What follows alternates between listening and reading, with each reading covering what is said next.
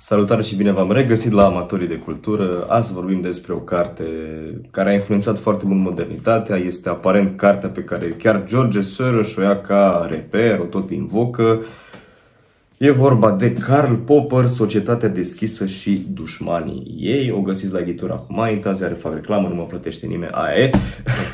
Este o cărămidă, cum am obișnuit, de 600 și ceva de pagini, succes și răbdare în care domnul Popper uh, ne prezintă două concepte. E vorba de societatea închisă și societatea deschisă. Acum, care, care, ce înseamnă această societate închisă, de ce e închisă, cine a închis-o, nu știm, dar se referă la societatea în care statul este mai presus de individ. Drepturile omului contează foarte puțin, uh, forma, perfecțiunea statului, uh, tihna statului este mai importantă și este societatea în care se formează totalitarismul. În schimb, societatea deschisă, spune Popper, este societatea care e compatibilă cu democrația, cu valorile umane, drepturile omului și așa mai departe.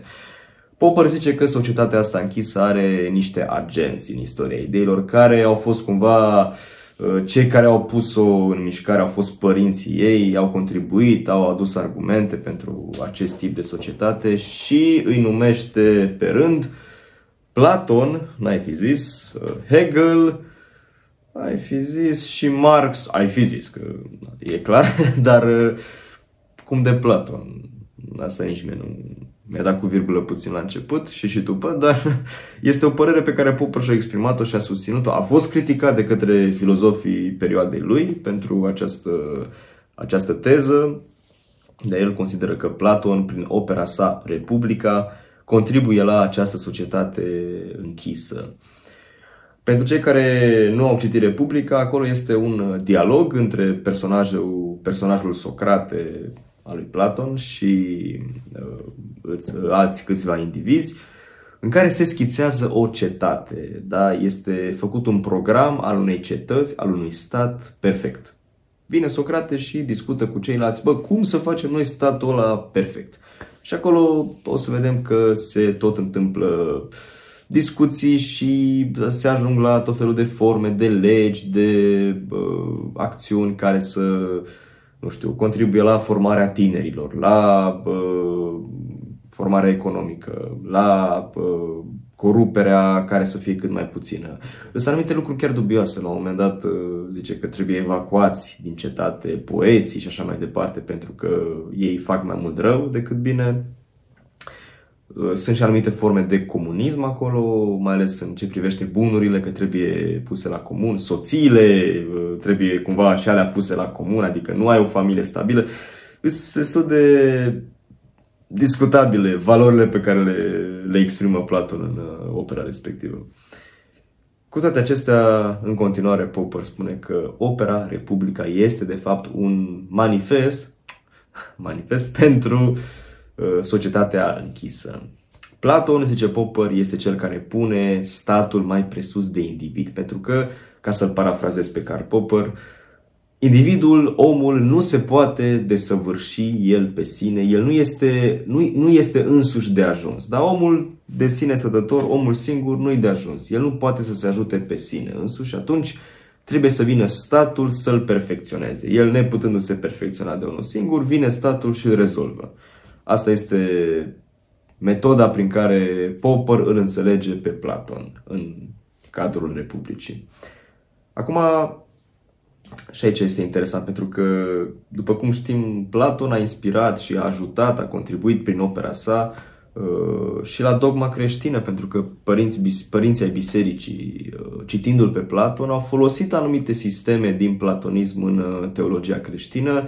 Mă gândesc aici la Sfântul Augustin de Hipona și ulterior la Ordinul Franciscan, care avea o afinitate pentru Platon, pentru filozofia platonică.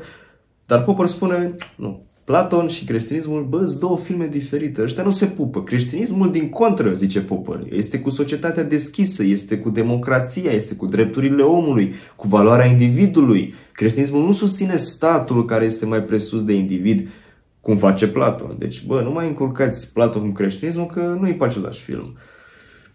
Iarăși o părere, vorba știi, am popular opinion. Păi, na, ce ai făcut, băbiță? Ne-am dat un pic peste cap. Ok, deci Platon nu mai e în aceeași echipă cu creștinismul pe partea asta. Ok.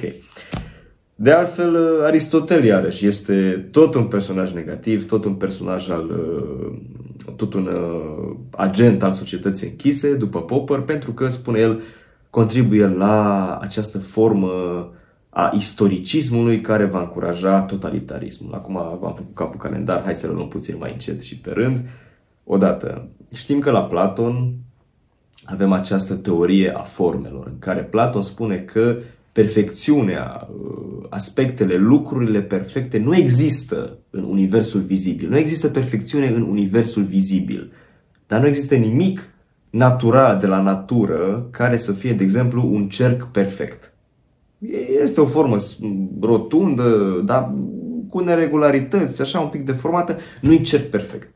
Ăsta există doar ca și concept. Iar acest concept este acea idee, da? care este într-o lume uh, din afară, într-o lume exterioară, abstractă, care a existat, atenție, înaintea universului vizibil și care a fost modelul pentru tot ceea ce vedem noi astăzi. Asta este una dintre teoriile lui uh, Platon despre universul nostru. În schimb, Aristotel, prin uh, filozofia lui, uh, el propune ideea de cauză finală. Da? Lucrurile de, de data aceasta conțin în ele perfecțiunea, dar este în ele, nu este în afara lor, cum este la Platon, în lumea aia abstractă a ideilor. Nu, Aristotel spune că toate conțin în ele perfecțiunea care se va manifesta cu timpul. Adică după perioade de evenimente, care pot fi bune sau rele, războaie, conflicte, perioade de pace și așa mai departe, inovații, evoluții tehnologice, nu știu ce, Uh, perfecțiunea aceea se va tot desăvârși, se va tot modifica, va ieși la suprafață și în, uh, în final uh, se va manifesta. Această viziune pe care Popper o citește la Aristotel, el spune că este istoricismul pe care Aristotel îl formulează și pe care ulterior o să-l vedem la Hegel, respectiv la Marx. Acum, am mai discutat puțin despre istoricismul lui Marx, când am spus că sub aceeași formă Marx spune că în cheie social-economică, toate evenimentele din istorie uh, vor conduce la această societate de tip comunist. Inevitabil, tot acolo ajungem prin războaie, prin reforme, prin revoluție, prin nu știu ce. Finalitatea, evenimentul final, concluzia o să fie societatea totalitară comunistă. Asta este uh, teza lui Marx. Și Popper spune că Aristotel, de fapt, uh, exprimă această viziune cu sute de ani uh, înainte. Acum, nu știu ce să spun. Uh, Constantin Noica, de exemplu, în analiza pe care o face el la, la Platon, la Republica, Noica scrie că, de fapt, Republica trebuie citită ca o metaforă care se referă, de fapt, la ființa omului, la sufletul omului. Cetatea aceea perfectă, statul acela ideal, de fapt, este individul, este omul, este sufletul care ăla trebuie desăvârșit. De-aia este tratat cu atâta duritate uneori. Deci, practic, tu ești propriul tău dictator care îți impui ție reguli stricte ca să ajungi la perfecțiune. Deci, cetatea pe care personajul lui Socrate o descrie în uh, Republica e de fapt uh, individul, iar nu neapărat un program politic după care să ne luăm toți. Dar asta este, mă rog, uh, teza lui Noica despre Platon. Așa crede Noica. Popper crede altfel. Acum, nu știu, Petrețuțe are zicea la fel, că, nu domnule, Republica e, e o rușine, este o gafă a lui Platon. De asta zic că părerile sunt împărțite, totuși, să-l vezi pe Platon ca un personaj negativ e ceva neobișnuit, da? Nu, nu-ți vine prima oară să zici, da, domnule, Platon susținea totalitarismul. Voi ce credeți? Lăsați-mi în secția de comentarii părerea voastră despre Platon. Ce crezi voi, dorele despre Platon? Zici și mie să știu. și nu uitați dacă vreți să susțineți uh, în continuare proiectul. O puteți face pe contul nostru de Patreon, uh, Amatorii de Cultură. De asemenea, avem și pagina de Instagram unde postăm conținut extra, respectiv pagina de Facebook și până data viitoare vă dorim numai bine, lectură plăcută și sănătate. Doamne ajută! Ceau!